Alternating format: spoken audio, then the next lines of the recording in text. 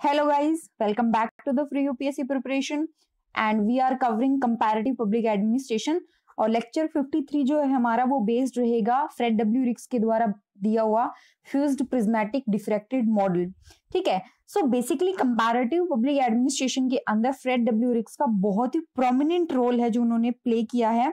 And अभी तक हमने तीन तरीके की जो अप्रोच है मॉडल बिल्डिंग को लेकर के इकोलॉजिकल अप्रोच है या स्ट्रक्चरल फंक्शनल अप्रोच है या आइडियल मॉडल है, अभी तक हम ये देख चुके हैं कि इकोलॉजिकल अप्रोच क्या होती है बेसिकली कि एडमिनिस्ट्रेशन की उसको एनवायरमेंट एडमिनिस्ट्रेशन को एनवायरमेंट इन्फ्लुएंस करता है और एनवायरमेंट एडमिनिस्ट्रेशन को ही नहीं एडमिनिस्ट्रेशन भी एनवायरमेंट को इन्फ्लुएंस करती है।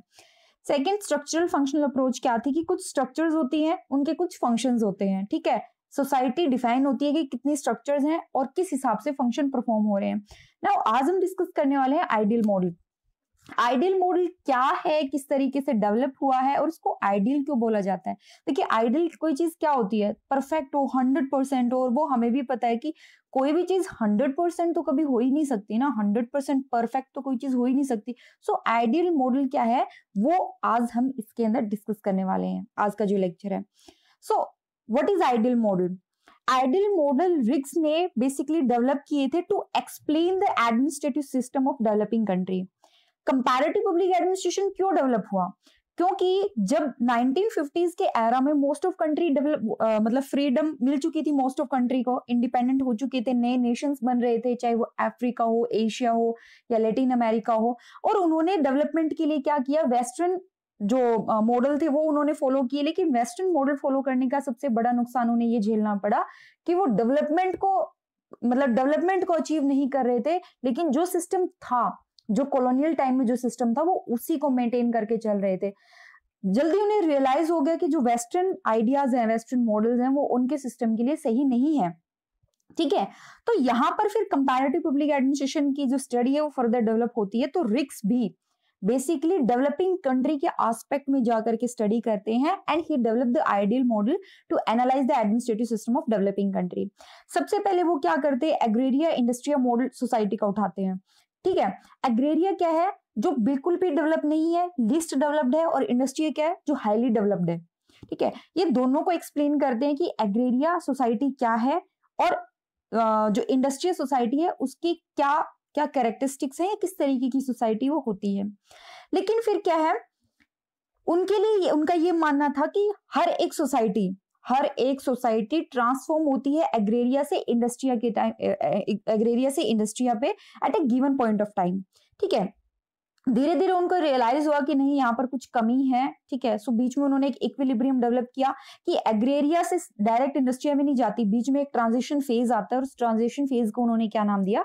Transitia society so Riggs developed an equilibrium model name Transitia representing the transforming society in 1957 लेकिन एग्रेरिया इंडस्ट्री वाला जो ये मॉडल था, उसमें काफ़ी सारी लिमिटेशंस थी, काफ़ी कमियाँ मतलब खामियाँ भी थी, काफ़ी कमी थी। सो उन्होंने एक नया सेट डेवलप किया नया मॉडल डेवलप किया और जो फ्यूज्ड प्रिज्मेटिक डिफ्रेक्टेड मॉडल है ये इसी का एफर्ट है। ठीक है? सो so, है क्या? फ्यूज्ड प्रिज्मेटिक ये मॉडल रिक्स ने डेवलप किया था on the basis of structural functional approach क्या है? कैसे है वो? फर्दर हम बहुत इजीली हम डिस्कस करने वाले हैं वो। ना फ्यूज्ड सोसाइटी क्या होती है? फ्यूज्ड सोसाइटी जिसमें एक सिंगल स्ट्रक्चर होती है और वो बहुत सारे फ़ंक्शंस परफॉर्म करती है। जैसे एक राजमहल है। ठीक है वो एक ही है स्ट्रक्चर और वो बहुत सारे फ़ंक्शन कैरी आउट कर रहा है। डिफ्रेक्टेड सोसाइटी में बहुत सारे स्ट्रक्चर्स हैं डिफेंस मिनिस्ट्री अलग है प्राइम मिनिस्टर ऑफ़िस अलग है कॉमर्स मिनिस्ट्री अलग है। सो so, बहुत सारी स्ट्रक्चर्स एंड बहुत सारी स्ट्रक्चर्स अलग अलग फ़ंक्शंस परफॉर्म कर रही हैं। लेकिन इन दोनों के बीच में आप समझिए कि एक तरफ़ फ्यूज्ड सोसाइटी एक तरफ़ डिफेक्टेड सोसाइटी है और उनके बीच में प्रिज्मेटिक सोसाइटी एग्जिस्ट करती है। लेकिन रिक्स का ये मानना था कि आप किसी भी सोसाइटी को एक्सक्लूसिवली फ्यूज्ड या डिफ्रेक्टेड नहीं कह सकते क्योंकि देखिए आइडल तो कोई चीज़ होती नहीं है। So all the society are generally prismatic in nature क्योंकि कोई ऐसी सोसाइटी नहीं मिलेगी जिसमें एक स्ट्रक्चर ही सारे फ़ंक्शन कर रही और कोई सोसाइटी ऐसी नहीं मिलेगी जिसमें हर फ़ंक्शन के लिए अलग अलग स्ट्रक्चर हो। ठीक है? सो so, सारी की सारी सोसाइटीज कहीं ना कहीं प्रिज्मेटिक ही है नेचर में। और उनके जो पूरा एनालिसिस उन्होंने किया He made use of fused and diffracted model as tool to explain the prismatic phenomena of developing country. देखिए फ्यूज्ड सोसाइटी मतलब least developed society diffractive society means highly developed society और पता किसका लगाना है? डेवलपिंग सोसाइटी का। तो उन्होंने क्या किया कि फ्यूज्ड सोसाइटी का और डिफ्रेक्टेड मॉडल्स को साथ में लेकर के आए to explain the phenomena of developing country to explain the phenomena of prismatic society ठीक है? I hope it is clear to you ये है फ्यूज्ड सोसाइटी ठीक है? यहाँ पर आपने प्रिज्म देखा होगा कभी? सो so, प्रिज्म में क्या होता है कि जब आप single source of light throw करते हो प्रिज्म पे तो प्रिज्म के अंदर लाइट क्या है? फिर वो डिफ्रेक्ट होती है। विद इन प्रिज्म अलग मिलेगी और प्रिज्म से जब बाहर मिलती है तो आपको अलग अलग रेज मिल जाएँगी ठीक है? So the process of transition of a ray through a prism ये सिंबॉलिकली लिया गया है to explain the process of transformation of a society starting point को फ्यूज इसीलिए बोला जाता है, ठीक है? क्योंकि यहाँ पर क्या है? रे एक है, सारी जैसे व्हाइट लाइट को हम लेते हैं व्हाइट लाइट पे जितनी भी लाइट होती है सेवन लाइट होती है सेवन लाइट को मिला करके व्हाइट लाइट बनती है। तो वो फ्यूज है वहाँ पर, लेकिन प्रिज्म में जाते ही क्या है? उसका इंटरनल वाइब्रेशन स्टार्ट हो जाता है और रे का, और वो प्रिज्मेटिक कहलाता है, ठीक है? एंड जब वो रेस जितनी भी है, वो प्रिज्म से बाहर आती है तो वो सेवन लाइट यूँ की यूँ भर के आती है रेनबो की फॉर्म में तो उसको डिफ्रेक्ट और डिफ्रेक्टेड बोला जाता है, ठीक है? एक व्हाइट लाइट से सेवन लाइट बन गई। तो वो एक जब व्हाइट लाइट थी तो उसको फ्यूज बोलेंगे। सेवन लाइट जब उभर के आई डिफेक्टेड और जो वो प्रिज्म के अंदर थी, ठीक है? तब वो ना तो एक लाइट थी, ना ही वो सेवन लाइट्स थी। वो प्रिज्मेटिक थी, वो प्रिज्म के अंदर जो स्टेज थी उसको हम प्रिज्मेटिक बोलेंगे एक्चुअल में डेवलपिंग सोसाइटी का यही फिनोमिना है। ठीक है?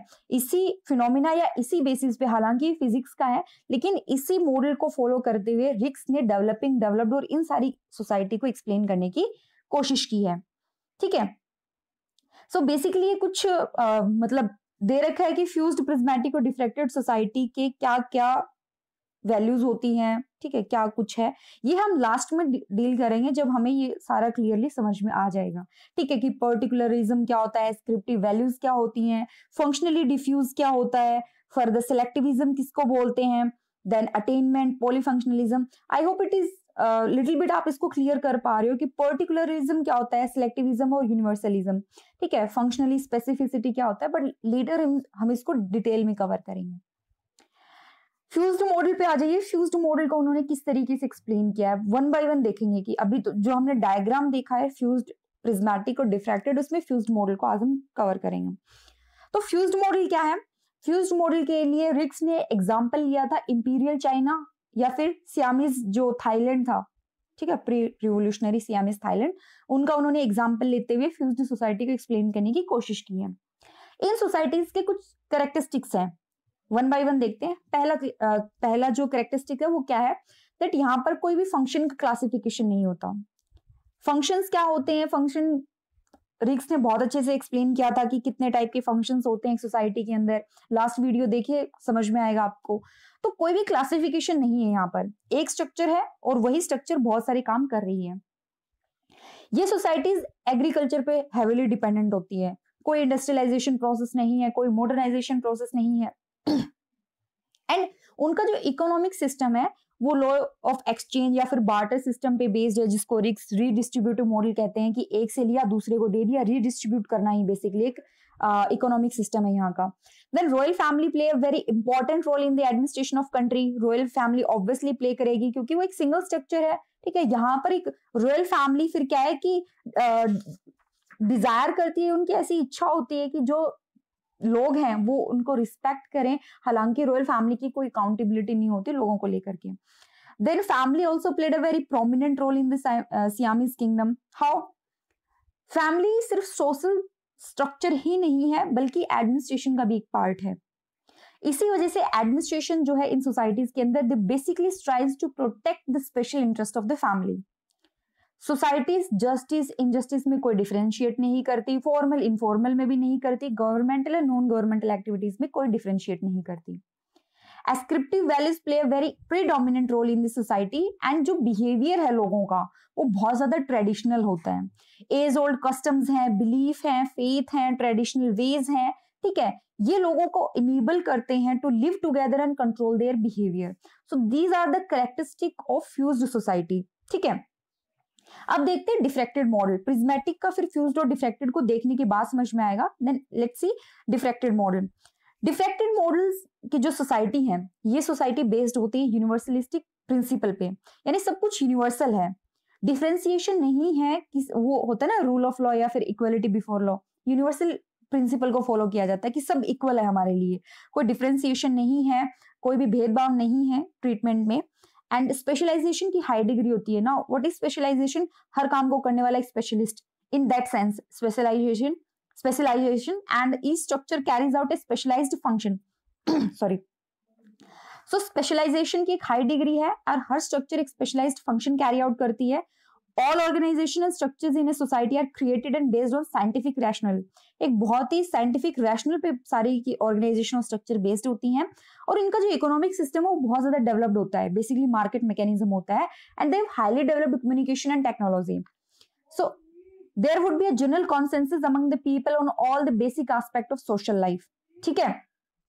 पूरा एक जनरल कंसेंसस होता है लोगों का on all the basic aspect of social life ठीक? है now let's see the what is the prismatic model क्या होता है? According to the Riggs the prismatic society is one let's see the definition क्या होती है प्रिज्मेटिक सोसाइटी की? कि प्रिज्मेटिक सोसाइटी वो होती है which has achieved a certain level of differentiation basically क्या है कि फ्यूज्ड से थोड़ा डेवलप हो चुकी है बट अभी तक डिफ्रेक्टेड सोसाइटी के लेवल तक नहीं पहुँची है. डिफरेंशिएशन आ चुका है रोल्स का स्पेशलाइजेशन भी हो चुका है एंड रियलाइज़ उन्होंने कर लिया है कि स्पेशलाइजेशन ज़रूरी है, लेकिन अभी तक वो रोल्स को इंटीग्रेट नहीं कर पा रहे हैं. ठीक है, कि स्पेशलाइजेशन रोल्स का डिसाइड कर लिया है, मान लिया है कि वो ज़रूरी है to deal with the modern technology but they failed to integrate this role and prismatic model को डिफाइन करने के लिए, उसकी करेक्टरिस्टिक्स को बताने के लिए रिक्स ने तीन इंपॉर्टेंट करेक्टरिस्टिक्स बताई हैं heterogeneity formalism and overlapping let's see one all this one by one सबसे पहले हेट्रोजेनिटी क्या होती है? इसमें क्या होता है कि बहुत सारे सिस्टम बहुत सारे प्रैक्टिस एंड बहुत सारे व्यू पॉइंट अलग अलग व्यू पॉइंट एक साथ है। अलग अलग कॉन्ट्रास्ट के अंदर अलग अलग कॉन्ट्रेरी जो सिस्टम है वो एक साथ, एक ही जगह, एक ही सोसाइटी के अंदर है। ठीक है? Simultaneous presence side by side of quite different kinds of system practice and view point और बहुत सारे व्यू पॉइंट होने की वजह से क्या है? कॉन्ट्रास्टिंग सिस्टम लास्ट लाइन पे फोकस कीजिए। Coexistence of contrasting system pulling the society in different direction makes it difficult to draw generalization. मैं कह रही हूँ, ये चीज़ होनी चाहिए, सामने वाला कह रहा है नहीं होनी चाहिए दैट मीन्स एक कॉन्ट्रास्टिंग व्यू पॉइंट हमारे पास अवेलेबल है और वो कॉन्ट्रास्टिंग व्यू पॉइंट होने की वजह से जनरलाइजेशन का पॉसिबल जनरलाइजेशन पॉसिबल नहीं हो पाता। इसी वजह से प्रिज्मेटिक सोसाइटी की जो मेन कैरेक्टरिस्टिक्स है, वो क्या है? हाई डिग्री ऑफ़ हेट्रोजेनिटी की बहुत सारे व्यू पॉइंट फ्यूज वाले व्यू पॉइंट भी आ जाएँगे और डिफ्रेक्ट जो डिफ्रेक्टेड सोसाइटी है, वहाँ की भी प्रैक्टिस सिस्टम वो भी यहाँ पर आपको मिल जाएँगी। So first is heterogeneity second क्या? फॉर्मलिज्म फॉर्मलिज्म वेरी सिंपल चीज़, हम बोलते हैं फॉर्मेलिटी मत करो। फॉर्मेलिटी करने का मतलब क्या होता है? एक तो होता है कि जो नॉर्म्स है, वो और रियलिटी में दिन रात का फ़र्क है। ठीक है? So incongruence between the formally prescribed and effectively practised norms and reality या फिर जो हमने ऑब्जेक्टिव बताए हुए हैं stated objective and real performance में दिन रात का फ़र्क है। ठीक है? सो so, यहाँ पर आप समझिए कि फ्यूज और डिफ्रेक्टेड सोसाइटी में रियलिज्म बहुत ज़्यादा मिलेगा। ऐसा नहीं है कि वो जो ऑब्जेक्टिव बता रहे हैं उसमें परफॉर्मेंस में दिन रात का फ़र्क है नहीं। फ्यूज एंड डिफ्रेक्टेड सोसाइटी में रियलिज्म बहुत ज़्यादा है प्रिज्मेटिक सोसाइटी में फॉर्मलिज्म ज़्यादा है। थर्ड थिंग क्या है? Overlapping overlapping in the sense कि एक तरीके से बहुत सारी डिफ्रेंशिएटेड uh, और अनडिफ्रेंशिएटेड स्ट्रक्चर मिक्सअप हो रही हैं ठीक है?